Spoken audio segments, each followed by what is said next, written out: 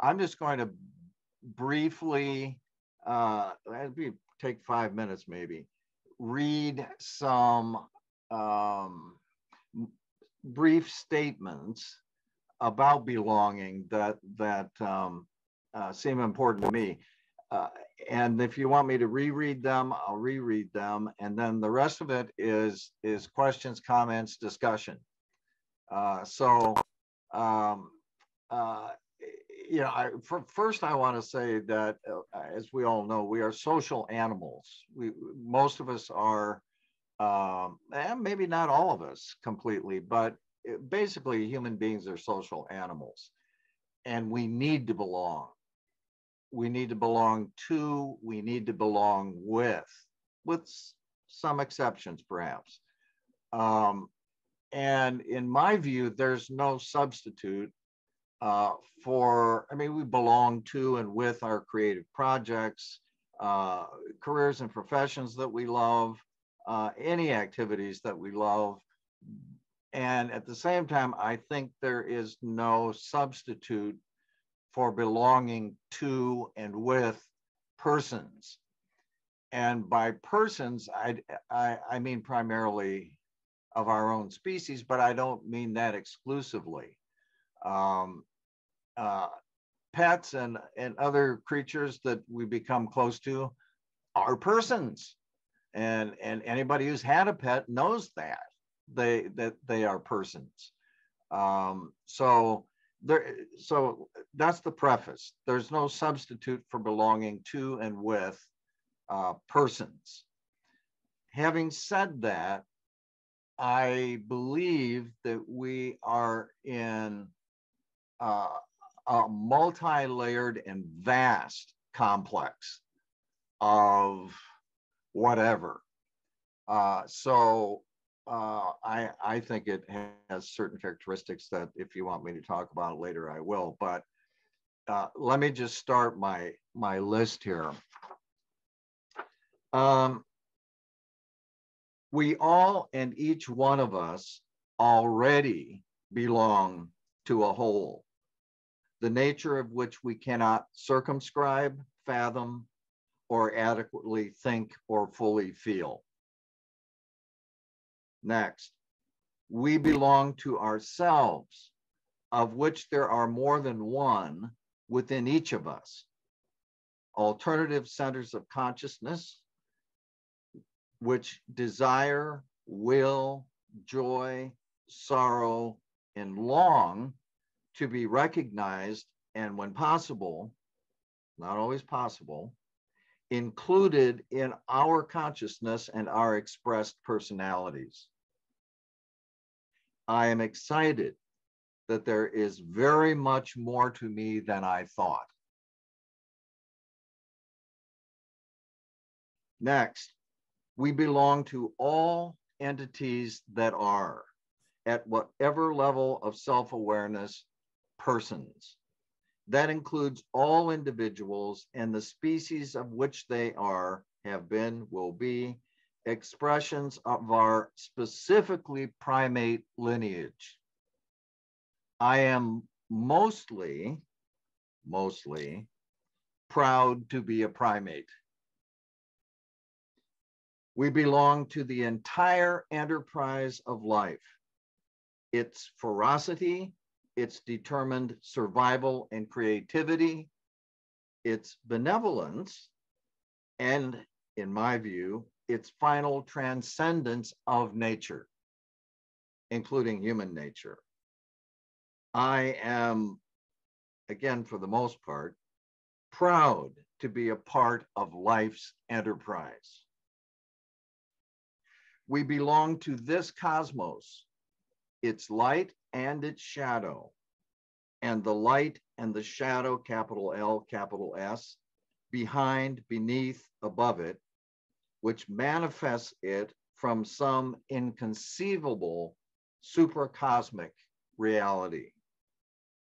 I am awed and struck with wonder by the limitlessness of what I am a part of. Next, we belong to and are already within all levels, planes, and dimensions of being whatsoever. I am stunned by the magnitude of what I am. All of this means that we that we belong to this mystery, which unconditionally and remorselessly eludes us when we try to grasp it. But nonetheless, ultimately and immediately enfolds us, is us, of which we ourselves are embodiments. I am exhilarated by the mystery of you, of me, and of all that is. At the same time, and as a part of this mystery, there are places and entities at all of these and whatever other levels and dimensions of our being us there may be, which it is best for us to not belong, to which we need to refuse belongingness. In my view, there is only one to which these places and entities belong. We are not equipped to belong to these dark places and their inhabitants and survive as us. And we should utterly refuse their claims, their claims that we belong to them. For now and for present purposes, we belong here, aware that we belong to each other. And in this moment, right now.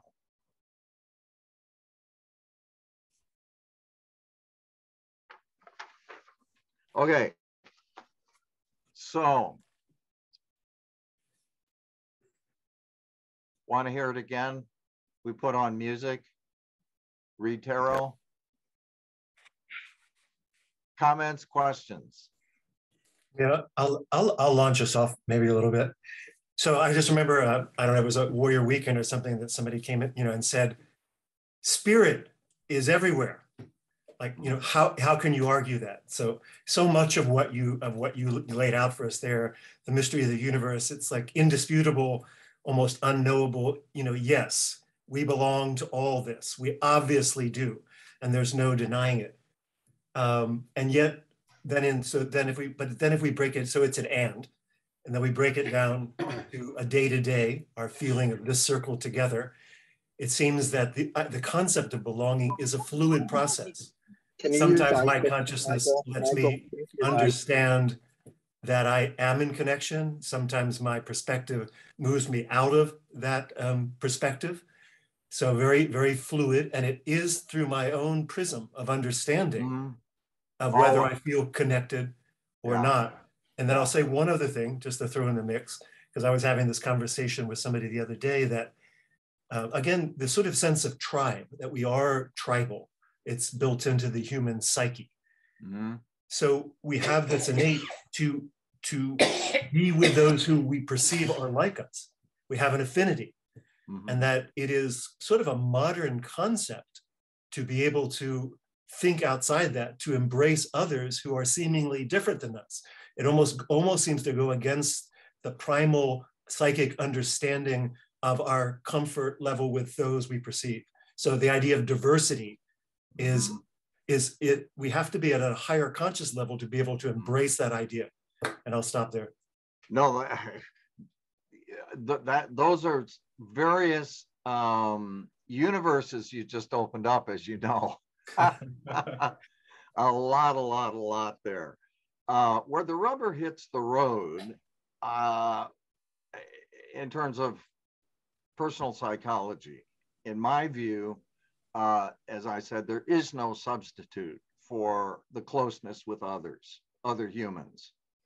Um, although there are people that you know fall outside that that general um, uh, view or have feelings that extend uh, belongingness in other ways and maybe even anti human to some extent. Uh, but um, in it, I, I, it's been my life experience that the human being is at multiple layers of reality. Reality with a capital R, most of which, as you as you say, Michael, we're not aware of. Um, you know, to to survive and to flourish uh, in in as us, as we normally think of ourselves, and in this reality as we normally perceive it, we have to be focused on and through the ego and maybe and some accompanying uh, altered states. Um, that's how we stay here, you know, and make something. Uh, so, you know, I'm not, I'm a mystic, I would say, but, but I'm not the kind of mystic that believes the world is a, an illusion or pointless or meaningless or we should escape it uh, entirely. I, I believe we are us here now to live it, to, to experience it. Um, so I, I think that um, uh, some of the things I just mentioned are not either or things. Either we're here or we're elsewhere in a more abstract space of think, you know, for example, feeling like we're part of the enterprise of life. On the other hand, uh, being it's not so abstract. Uh, being able to connect up with uh, life as a whole, for example, actually, uh, my experience of it is, is, is that it can be em- enormously empowering uh, of me as an individual, humbling, and in humbling, empowering. Uh, and there was, you said so many things. I'm trying to remember. Um, um, well, that's it for now. Well, I only said so many things because you said so many things. Yeah, I know. I know. It's great. it's great. I just couldn't keep keep track of them. But yeah, I think we're multi-dimensional beings and um, how you know our our usual sense of who we are is valuable and oh I, you're the tribal thing i was going to say. Yeah, it seems clear to me that uh, and from anthropological and archaeological evidence and so forth maybe even genetic evidence well certainly that now that we um, are evolved for small group living. Mm-hmm. Uh, and so, as you pointed out, uh, when we seek to expand our wh- who we include, mm-hmm. uh, it, it is it runs counter to the evolutionary push uh, to what we evolved to to to experience easily. So it does take some effort and imagination and open-heartedness and uh, and so forth to expand beyond the tribe. Mm-hmm. Um, so yeah. But that expansion, I'm suggesting, to the extent that it can be done, um, uh, adds to and enriches. Yeah, that was the word I was going to use. Yeah. yeah, our mm-hmm. personal lives and our tribal lives too. Mm-hmm. Yeah. So, so, Doug, in your class about the uh, the chimpanzees and other species, I noticed you mentioned you're proud to be a primate, and Mostly. so many of, in so many of my conversations with people, I I bring up the fact about uh, that's we're true in who we come from and what we come from, and no wonder we act this way. Right. This is this is what we were born into, and whatever changes we make uh, are because of our frontal cortex and our trying very hard to be able to be more than but still we've got that disposition to be all those other things that these I'm not gonna I'm gonna say lower and not in a negative sense, Right. but that these different primates that we that we inherited from them. Yeah, we are not zebra. We don't behave in social groups like zebra. We don't behave like octopi.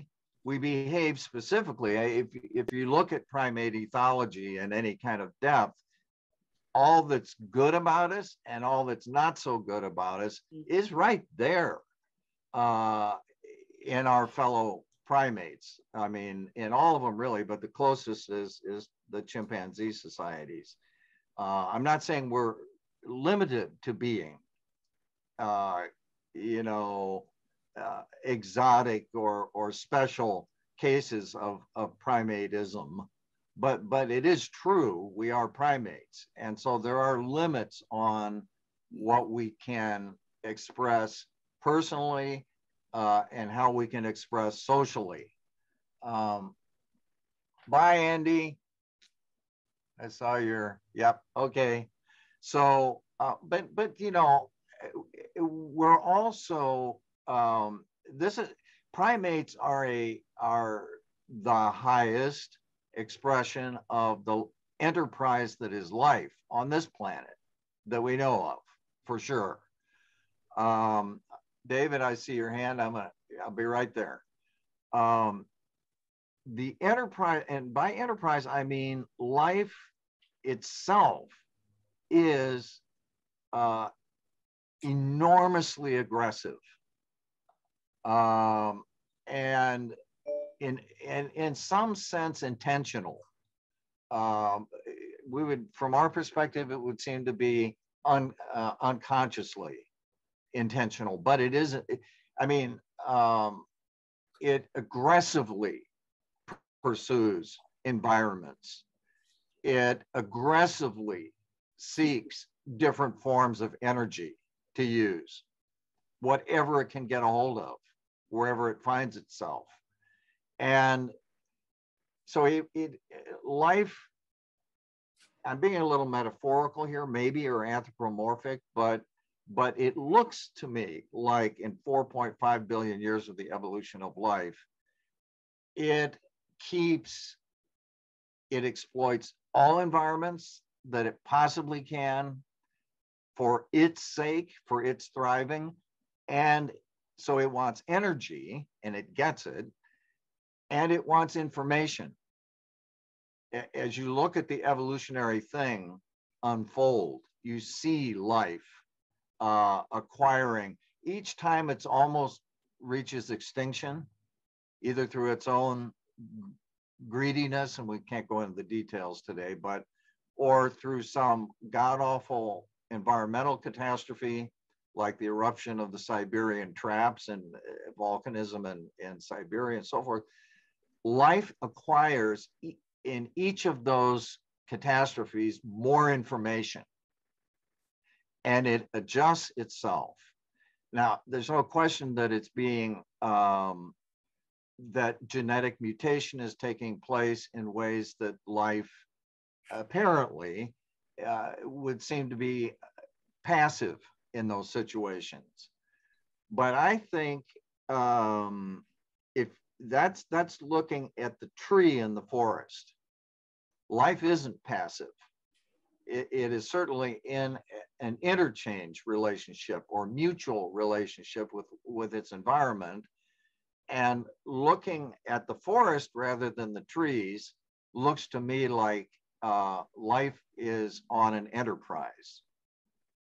And we are uh, particularly fascinating and awful and terrible and wonderful expression of what all of life is. Sorry. David? No, no, I, um, that's great. I, have been, I do a lot of reading and, and watching of evolutionary psychology. I came across something that was interesting. It said that um, for the first several hundred thousand years, uh, we were human, we were prey. Mm. Back to uh, Australo, Astra, Australopithecus, yeah. Right, right. I mean, and even early, early hominid, we were prey And so, so we've we we formed prey groups, which is we've we formed groups, we looked out for each other, we gave warnings, we learned to cooperate because that's what prey animals do. You know, predators don't have to do that, prey do that. And then eventually we became hunters, and now we're the we're the dragons of the earth, we're the apex predators. But but part of interesting, our genius is we've retained that that substrate, that structure of being prey, and we remember Mm, mm, and and it's our ability to cooperate as prey species do that has made us a predator. And That's interesting. Yeah, you know, predator, not all predators, many predators also have sophisticated societies Yeah, yeah. uh, that uh, are organized around cooperative uh, predation. wolves, wolves, for example. Yeah, wolves, for example, but but others too. Um, um, who was uh, uh, William? Were you? Uh, yeah. Yes. I, I didn't have my hand up, but uh, Oh, I thought you did. Oh, no, sorry. but I'm, you know, I'm filled with a lot of excitement from what I'm hearing. And uh, I'm sure I could come up with something to say. Absolutely.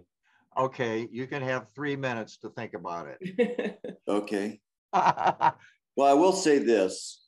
Um, I was thinking about my belonging to my son who just passed away in January oh, from half his life spent as a drug addict and half in that same half of his life spent struggling with type 1 diabetes mm, and some severe injuries that that coincided with his diagnosis and the start of his addiction and in, in introduction into into pain pills. And he died a miserable miserable death oh, uh, on a cold concrete sidewalk a few blocks from my house ah, um, back in January, and um, I celebrated his life um, on Martin Luther King Day, along with you know with my friend George Durrani, who celebrated the life of his father on that same day. It was it just coincided, wow. and I've been thinking about my belonging with him in that disconnect that I had for so many years that I couldn't fulfill that that sort of manly earthly need that I have, you know, encrusted in my heart to want to my offspring and my my lineage to to succeed. And and then he just sort of dis, disappears like a puff of dust. And I'm like, wow, that was a long, long, long piece of work. And I don't even know what it means yet. But it just seems so poignant. And then I, I look back at my own life and I feel this connection with the primordial is a you know a, a seven eight year old boy and my only question is really is where does this all end Mm, you know where does the end? And then somebody tries to explain it. I says well where does the end end? And that Yeah. was my next question. Uh, oh no. where does the end end? And then uh, I was, sarah and i were talking about my granddaughters yesterday. We're sending off little cards. They were born a year and a few weeks apart. And so i always celebrate their birthdays on this at the same time. And i assigned them both uh, a galaxy that Mm, describe their characteristics to plant Ah. these questions and seeds in their in their minds. The the uh, older one is the Andromeda galaxy, and the younger one is the Pinwheel galaxy. ah, ah, ah. yeah. Okay, hang on. I gotta X this out. Okay, bye bye. Well, um, I am so sorry about your son. Uh, and your your unfulfilled relationship with him, right? It's uh, and the, in addition to your question, I have a question because we we have a daughter who's 25, my wife and I, and um, who's going through a very dark time as a young adult and uh, alien uh, to us now in many respects and having a very hard time connecting meaningfully um, I I and this is just all over the place. Um, uh, children that is part of, unfortunately, part of a lot of parents' experiences. I'm going to say, uh, and this is me, I'm not imposing this on anyone, but I'm going to say that before I get to my question, that again, the I know it may be cliched, but I do think there is no way around uh,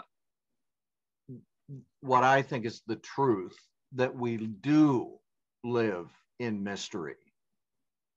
And I don't mean mystery that we can ever uh, solve or resolve. I mean the real thing is beyond us.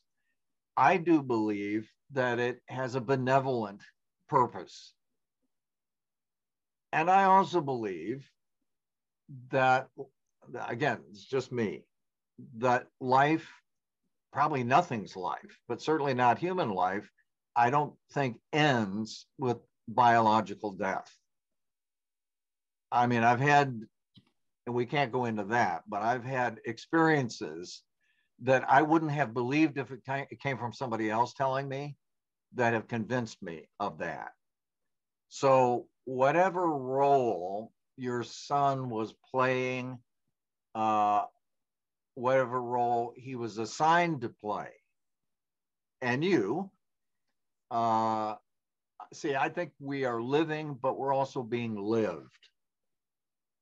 And and I do believe there is a happy ending. Oh.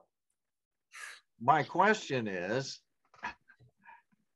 and I, I believe me, I have read all the proposed answers to this question that in every religion, every spirituality, every everything.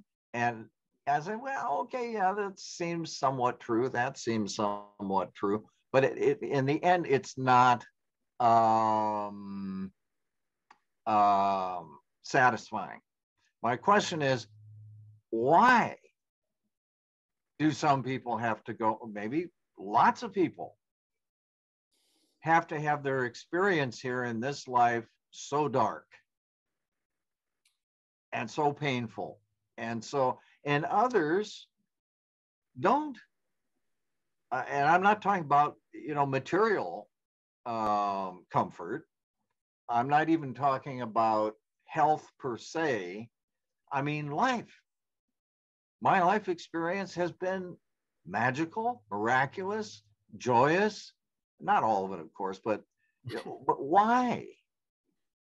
And um, why do some of us have to go through and i'm thinking of my daughter here too why do some of us have to go you know a dark road?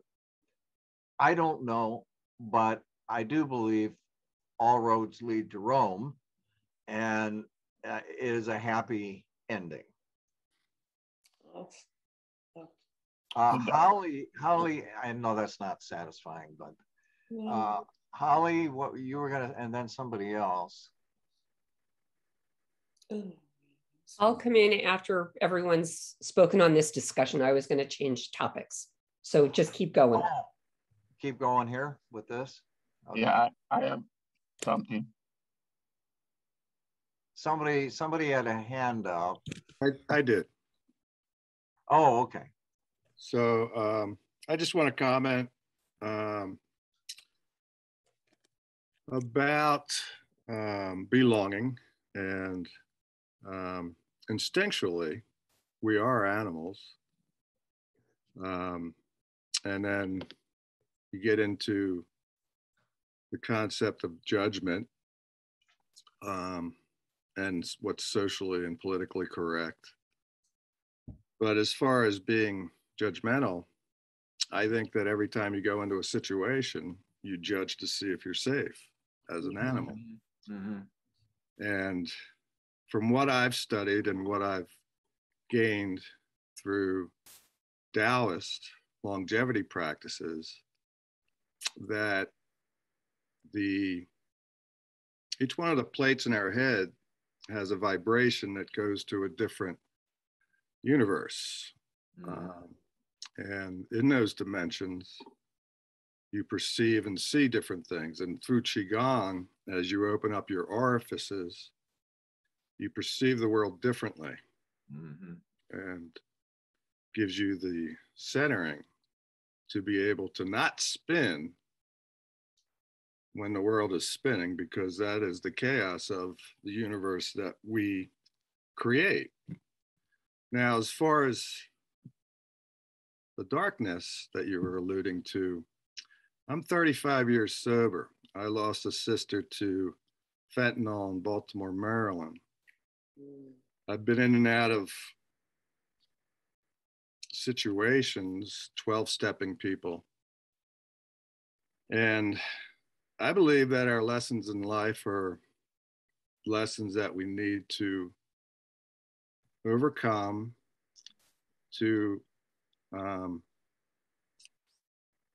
transcend the nine heart pains and the nine heart palaces. Mm. And relationships is one of the most important. Health is the first, relationships, prosperity, creativity through your children. Um, there's a lot of dimensions there. And I myself struggle with basically every one of them. Mhm. But that is my lesson. I believe in Taoism and who I study with that we chose our parents Mhm. Mhm. as a spirit. We chose who we came through for the lessons that we needed to learn in this lifetime. So, I and mean, beyond, right? And In beyond. lifetime and beyond. Um, I, I I was going to say, uh, William. I forget if you're William or Bill will. or Will. Okay. Will. No, I know you are Will. I'm. I wanted Oh. to come back to William. Oh, I'm sorry. No, no, including you, but Bill's um, fine. you're Bill. Bill, yeah. Okay.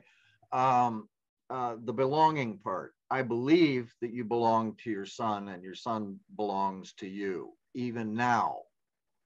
Always was, is now, will be. Um, and as Will was saying, some some version of that, there is continuance, there is uh re presentation of us in other um, venues, let's say, or whatever. But I do believe it's all meaningful and purposeful and that nothing is wasted or lost. And and the belonging finally is total that eh, whether that can be right uh, and i would say it can't be fully realized in our fleeting you know 20 years 70 years 90 years it, can't uh, the quest for wholeness for example that is very much a part of the jungian framework that i come out of uh, in terms of psychology the quest for wholeness is uh, essential, vital uh, to our be- learning some of the lessons, Will, that you're talking about. Um, and of course, I think not just in terms of King, Warrior, Magician, Lover, but other uh, uh, categories too. None of us, though, obviously, at least obvious to me, reaches wholeness, wholeness in one lifetime. There's just not enough time or energy or opportunity. But um, we can get a taste of wholeness uh, through spiritual exercises, through through work with the psyche. Uh, so we know it's there and and in that sense it's the most important thing to us as individuals is to become more human in in a deep sense or more hum and i think that means becoming more humane um but the task is left unfinished at biological death. So, I mean, at that point, you say, well, I say, well, okay, what a trip. Or I say, well, that didn't mean anything, uh, my life, because I, I, I, I missed potentials, I missed opportunities, I didn't, or I say, this is part of an ongoing, an ongoing, and you ask, where's the end? I, there are ends, I think, whether in this life or beyond, there are ends at which we know we belong. And then there's the call to move toward another end. And then there's the call to move. So, and we we belong to the whole the whole thing. We belong to it. And actually there's no escape from it. From Doug? Yeah. Doug, I have a something I'd like you to address. Um, Right. so I felt that if I belong to more groups, the more expansive I am. And in yesterday's workshop, Paul Johnson pointed out that if you belong to a group, there's an exclusionary part of that. Mm-hmm. And Mm-hmm. so it's like, well, if I belong, then I'm also excluding. So can you speak to the yin yang of Yeah. Belonging to this, figuring out I belong to a new group, and then what's the ramifications or how does the exclusionary part play into that? Yeah. Uh, I think you're absolutely right um, that uh, belonging to a group automatically has some, if not a lot, of, of exclusionary dynamics to it, or you couldn't be a cohesive group. Um, I think it is, um, um, it's a genuine problem that you're raising. I do think there's such a thing, though, as belonging to a group that is, it's a balancing act. And in a way, we're talking about boundary issues. Belonging to a group that, uh, how do I say this? That excludes and doesn't at the same time. In other words, that accepts uh, the humanness, the the validity, the the correctness in some respects, and, and so on and so on and so on. The value of um, those who are outside of the group without losing group cohesion. Uh, one thing that happens with groups is that as they tighten up and close their boundaries, uh, they become hard, brittle, jaded, cynical, angry, whatever. On the other hand, groups that don't manage, in other words, they build rigid um, boundaries. There are groups, however, that are, are not respectful of bound their own boundaries and and would like to include everyone and maybe everything and those groups i'm afraid dissolve into a fine mist uh, they just kind of evaporate eventually or lose direction or cohesion and, and so forth. So i think what you're raising i don't have an answer i except to say that i think that's that's part of our dilemma as individuals, as groups, as a species, as civilizations, as races, as genders, as everything specific that we are, is to to celebrate that and be that in a way that is as little exclusive as possible. I don't know. Yeah. Um, what I'm hearing, I believe, is tolerance. Um, so if you're talking about gay, straight, Muslim, Catholic, it's like I'm in, I belong to one group, but I'm not making the other group wrong or the enemy or uh, just dismissing them. Excuse me.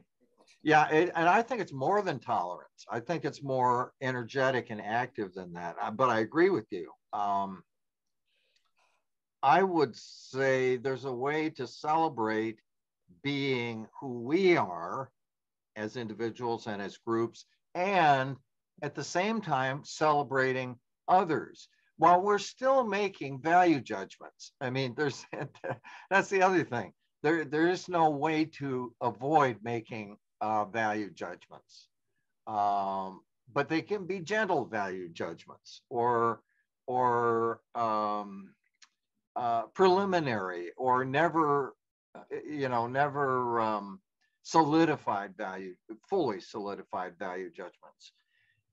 I do want to talk about uh, dark stuff uh, in a bit, but uh, Susan, is it Susan? Um, Sarah, actually. Oh, Sarah, Sarah. Yeah, No, no, no, no, no worries. Um, I I was a former stutterer, so this is like a little anxiety speaking up. So I'll try to be as articulate as I can. Um, Will brought up a really interesting um, point, and I've heard this many times before that we choose our own parents. Hmm, And I find that very fascinating because I remember my first thoughts, I remember like two, three, that who are these people? I got hence Ah. the four Enneagram status. Who are these, who's this, who are these aliens? I don't belong here. uh, But it's only like maybe two or three years out from the womb. So if I chose my parents, it was like kind of a quick thing there. Like, what did I do? So I don't even quite Ah. understand that whole premise. So that's yeah. Elaborate on someone can elaborate on that. Um, um, uh, um, someone said, I can't remember who it was. Someone said to my wife Olga and I when we were agonizing about our daughter recently, they said, "Yeah, you know, eh, eh, she was alien. You could see signs of it from early on." yeah. to, to your values, to your you know worldview, to your so um but they said and that caused friction. Uh but they said imagine what it would have been like for her, the daughter, though, if she had not been born to you. If she'd been born to someone else. Mhm. So I mean, and that's like, I I I would be open to the possibility that we do choose our parents.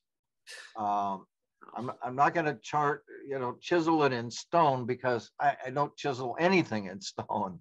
I, I really I have uh, intuitions and provisional beliefs and so forth, but um, but I I you know there is something to wonder about that. Um, um, in in some cases, of course, kids who are born to really parents who maybe shouldn't have been parents, uh, or, or, sh- or shouldn't have stayed with each other, at least let's say that, uh, come out brilliantly. Uh, and at other times, you know, wonderful parents, uh, and nobody's perfect, but wonderful parents, and the kid is like, what? Um, I'll tell you what I'm going to do pretty soon is I'm going to take all my developmental psychology books out to the backyard, put them in a fire pit, and burn them.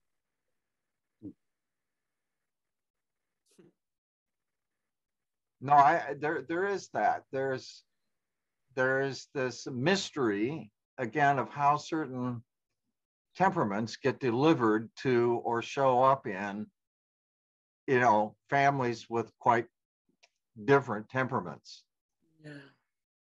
i mean there's the whole genetic thing and all that and but but i think there's a lot more to it than that i think there is Mhm. resonance and i think we are and this is another way of belonging i think we we do belong to each other even when there's tension and friction uh, and when we feel alienated, we still belong to each other. I mean, we, we okay, so I believe in the happy ending. So I think that Um, it's all for a, a benevolent purpose ultimately.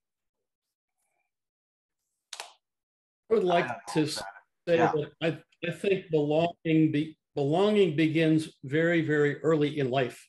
Um, attachment begins, Yeah. if not preconception, certainly during a time in utero. The bonding occurs then.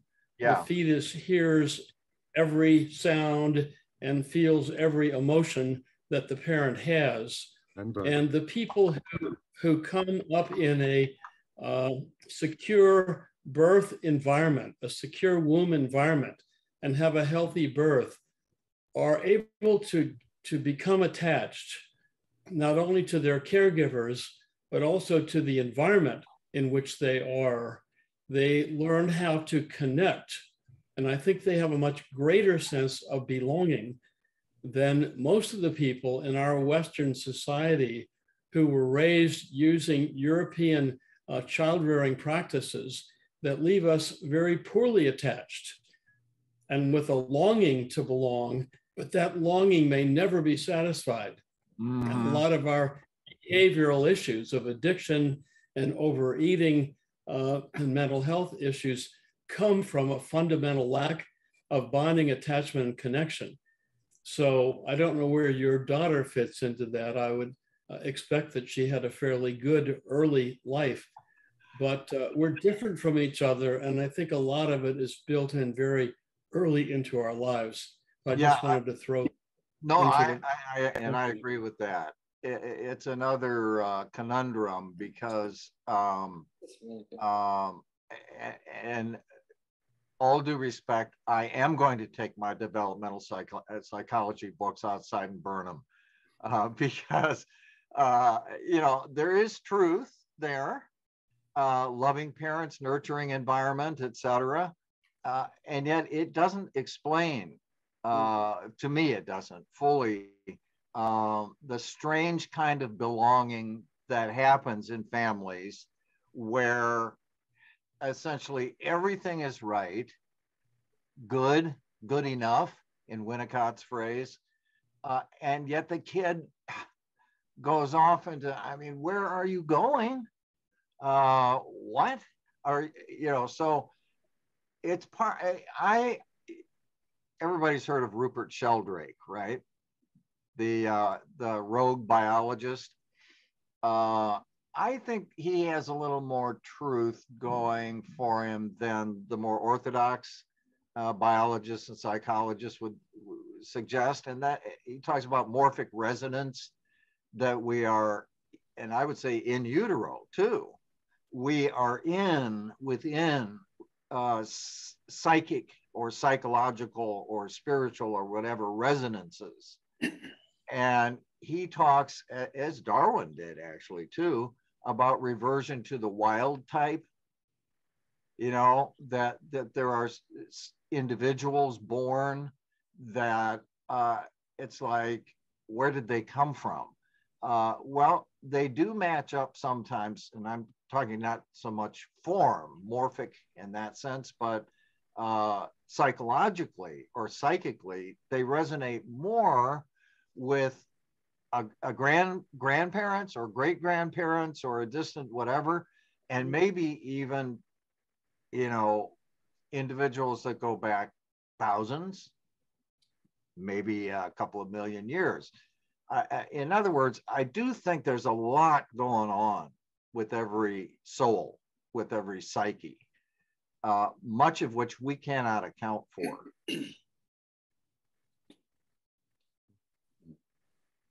So you talked about the word mystery. Um, I've gotten to the place um, as I've gotten gotten to the age I am now, at 87, about seeing about how my what's happening to some of my friends and what's happened to me in my life, in spite of taking care of myself so well, is that a lot of it is just a crapshoot. Um, it's it's we do and we do and we do, and how much control do I really have? And how much control do I not have? So it's I, for me, it's a, as much as possible accepting the things that I can't control and still leading my life as well as I possibly can in spite of the circumstances. Now, Dolores does not like my older son. They had some problem years ago. And I said, I am not willing to give, I would not have my older son as my friend. And I am not willing to give him up as my son mm. just because there's so many things about him that I don't like that are different from how I want I want him to be and how I want our relationship to be. But what is is what is. I'm not willing to give that up. And my younger son is totally different from him, yeah. and I have a totally different relationship. How the hell did that happen? I don't know. But I'm just I just yeah. feel I just feel blessed about that. Yeah, yeah, yeah. Eh, well, um, you raise another, of course, one of those perennial uh, questions. Uh, let's see. I'm looking at a chat here. Just a sec. Sorry. Your children are not your children. There. Ah, okay. Can I address that in a moment? Who was that that just did that chat? Oh, Kent. Okay. Um, another one of the the problems, uh, issues, struggles that we have as human beings, I think, and it's all about belonging, is um, uh, you talk about control or not.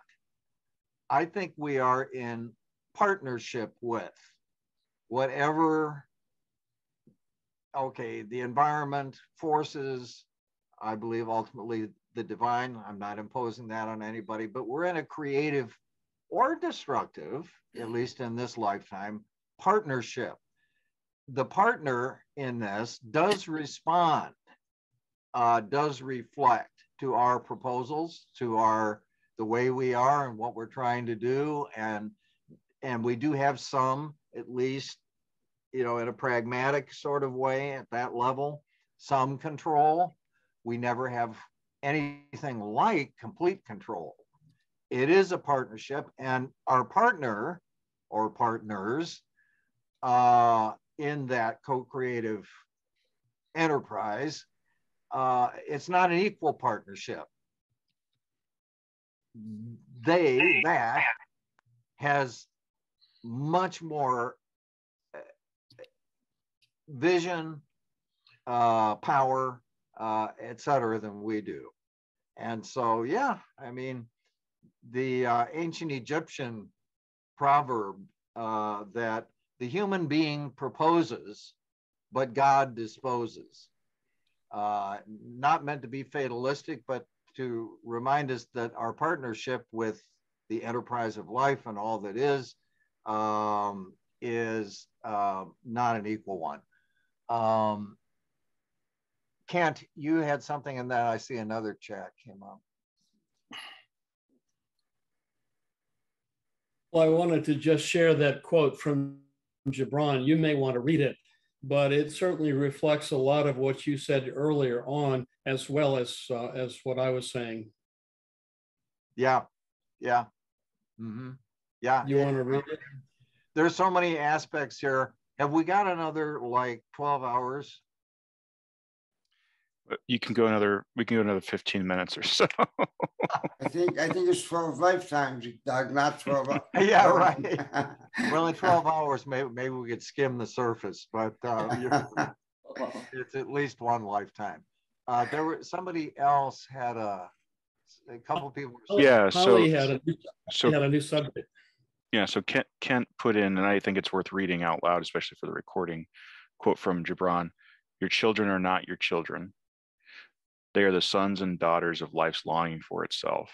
Yeah. They, they come through you, but not from you. Mm-hmm. And though they are with you, yet they belong not to you. Mm. Oh right. wow. I tell you a short, a very short story about uh, when I was uh, uh, that illustrates that a different kind of belonging to my mother. Okay, uh, years ago, I I won't give you the whole background, my, but my mother and I clashed a lot as I was growing up. And uh, she was, from my perspective, always seeking power over me.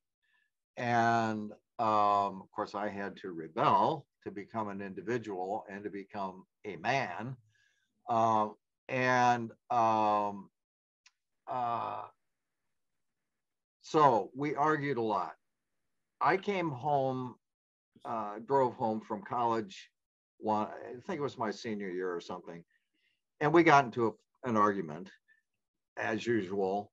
And I, I've been working on mother issues as as well as it wasn't college. No, no, it was way after that. I was probably late 20s, early 30s, working on doing depth psychology, being psychologized, and so forth, and working on men's issues and my absent father and so on, but also working on mother issues, a much neglected mm-hmm. topic.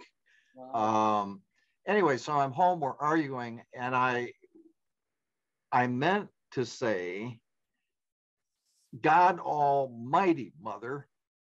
Instead, I said, God All Mother Mighty. wow.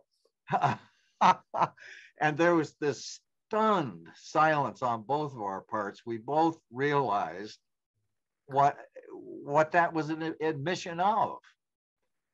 And in that moment, I realized that Gibran thing that um, my mother isn't my mother. She's certainly not the goddess. Um, she's my sister. In other words, the generations are just a, and it's more than this. I don't mean to oversimplify, but the gen- generational relationship is a a means of bringing us into this reality. But the truth is, we are all siblings of the God All Mother, All Mother, um, or how, however you want to picture it. But we're we're on an equal level. Actually, we're all brothers and sisters, and I don't mean that in a Pollyanna way. I really mean that. We are all children of that. Yeah. Christopher.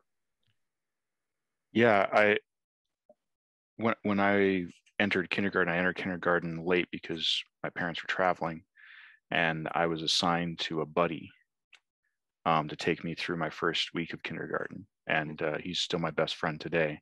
Oh wow! but um, one of the ways that I've thought about parenting is this this buddy, right? The the parents here first, and they're now the child's now entering. It's like, all right, here, let me take you with me, show you the ropes, that kind of a thing. Um, I want I want to bounce back to to some of what Kent was saying, and, and I want to I want to talk a little bit about. I think there's there like my own wound stuff with my parents. I've been one of the things that's been really helpful for me is realizing like the inevitability of the wound. Mm-hmm that that I'm gonna have a parent wound. And if my parents do everything perfectly, then the fact that they didn't wound me becomes the wound itself. Yeah, right. because the wound becomes like the path uh, to growth and individuation and and and healing and things like that. I, I think there's I, I do a lot of work with the Enneagram and, and I, I focus on on the Enneagram as like shadow work and and dealing with wounding and things like that.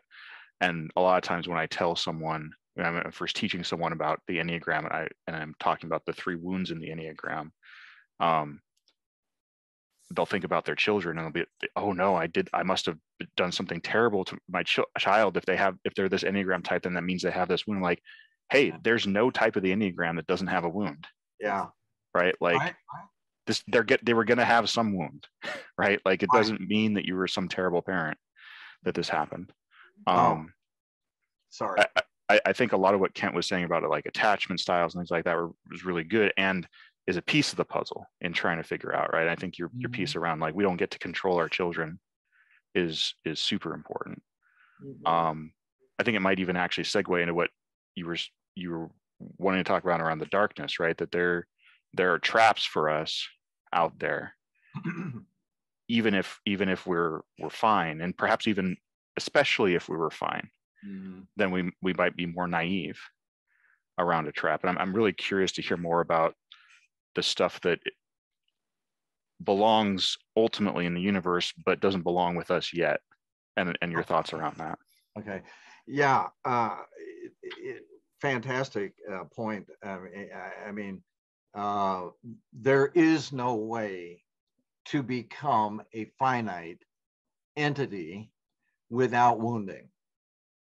There's no way to enter the world without being wounded, some way or another, because this is a place that uh, in which there's fragmentation. Uh, uh, the fragmentation is good in my view, in the sense that uh, um, that it is it is only by becoming individual beings that we can meet you know? Uh non-being cannot meet. Uh and, and the the meeting is is for me that's that's the whole core and the whole point of it of any of it. Um to to switch to the darkness which we are talking about because um this is as cs lewis said quoting somebody and i can't remember who um this is the shadowlands there's light, there's dark. It's unavoidable. It is what it is. It is what we are, um, at least as animals, as nature. Um, speaking practically, uh, and, and reverting to a Jungian kind of frame here, uh, uh, there are, I believe, at all, maybe not all, but many levels of reality. Um, dark spaces. And, and I'm not, I don't mean dark as, uh, as the beauty of darkness, there is that, but I mean uh, awful places, destructive of personhood places. And I believe, think I'm crazy, maybe that's okay, but I believe that there are at least as many and probably many more spirits which are not or psychic centers, whatever, that are not incarnated in the same way that we are at this moment, that inhabit both spaces of light and dark. Say it's all within the psyche, okay, that's okay. Um, uh, but, you know, in Jungian thought, we're, we are encouraged to uh, become conscious of and integrate as much of our personal shadows as possible. Because uh, with the understanding that the the personal aspects of the shadow are wanting to contribute to our lives and they do have valuable things to contribute. Okay and that's part of becoming whole. But a distinction is made between the personal shadow and the collective shadow uh, and, and I would say beyond the collective shadow, maybe it's the same thing, the cosmic or supercosmic shadow. Uh, so stuff, if we're in an active or even beyond that uh, analytical process, stuff that seems dark, destructive, painful, etc., uh, but which may be carrying some of our strengths, uh, you can you can feel when that is actually part of you that's been alienated and needs to be re-included uh, the per, uh, personal shadow. But beneath if you try to go deeper uh, and get into collective shadow uh, as jung warned that you, you, is so dark it is so vast that there is no finite person that can integrate that um, and what's in there uh, uh, are further psyches. It's not just an abstract sort of dark thing, though it may be that too, but it includes, um, in my life experience anyway, entities who do not wish, they do wish to express themselves, but they do not care about our wholeness or our survival, our integrity. That's really dark stuff. And they may claim that we belong to them or that they belong to us. That claim has to be rejected. And there are dark places where we should not go because we will not come out the other end. Wow. So that that's boundary stuff at a deep level. Mm. Um, I I think you know again uh, the struggle, and I'm over. I'm sorry uh, to oversimplify. Again, we need an. Uh, let's do another 12 hours because um, the. I don't mean to say in a dualistic kind of simplistic way non-Sufi way that there is a uh, struggle between light and darkness or good and evil in a simple way, but there is. And you know that when you you come up against what the hair stand up on the back of your neck, you know you're in the presence of evil. Um, without necessarily being moralistic about it, there is something that intends us no good. And those that we love or the species good. Those places we need to stay out of. Uh, and if you're working with a good analyst or a good spirit guide of some kind they they will know. They will have and you'll feel it when you're getting into uh, deep water and you need to turn back from that. Jung said, you know, the I'm paraphrasing, but the personal shadow needs to be integrated. The collective shadow needs to be exorcised. Mm. Mm. Yeah, I'm struck from some of the stuff you were saying at the beginning, talk really looking at, I think you were referencing the great chain of being. Mm-hmm.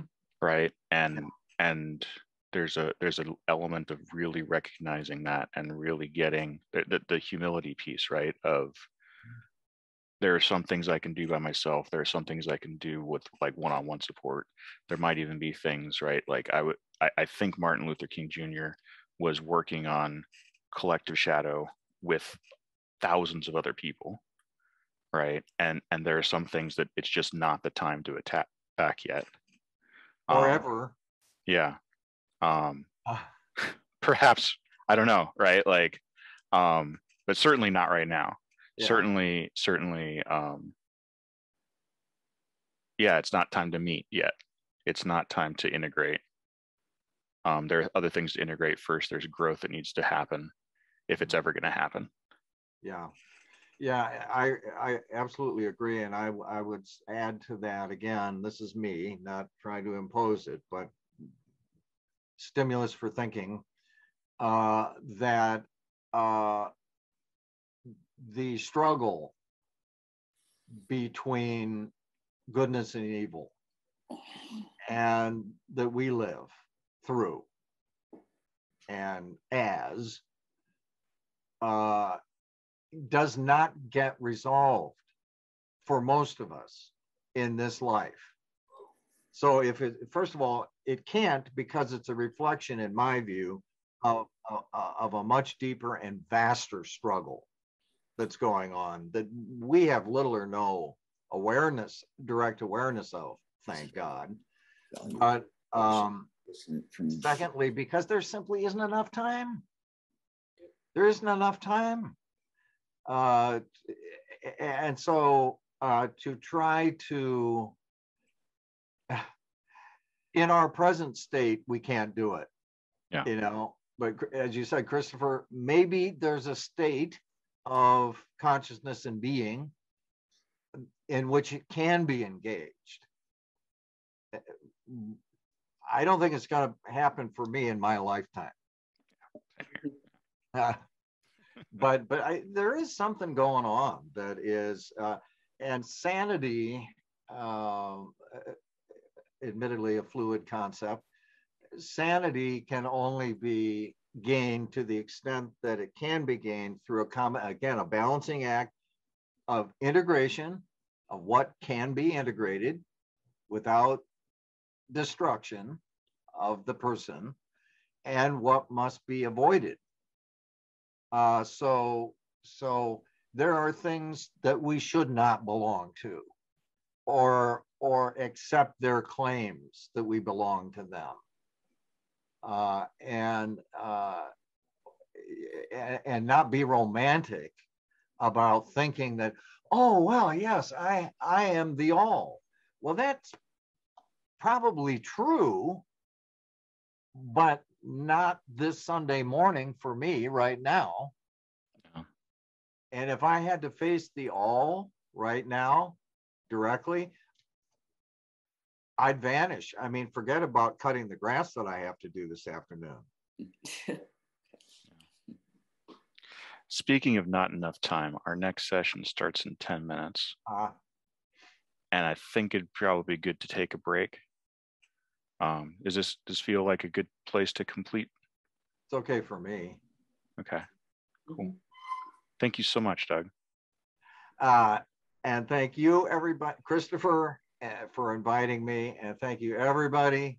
Uh, it was a pleasure meeting you. It really was. And and Christopher, you're going to put up the contact information then, right? Yeah. Um, let me. So, so you want to say a little bit about the class that you're about to teach? Just, just real fast. Yeah. If, Yeah. if anybody's interested, uh, in in an eight week every Thursday morning, 10 to 12 class in the decay and collapse of the Roman Republic. I'm teaching that through the uh, emeritus program uh, at Oakton Community College um, in Skokie, Illinois, S K O K I E. And that is, uh, you just go online. The class is online, it's Zoom. Yeah. Uh, and so Oakton Community College, Skokie, Illinois. Then I think the it's the uh, the uh, continuing education, and then from that emeritus. Yeah, I actually found the course and I put it in the in the link and and when I post the video, I'll also post the link to it. Oh, okay, all right, great. Anyway, it'd be fun to see you there. Yeah. And it was it was great.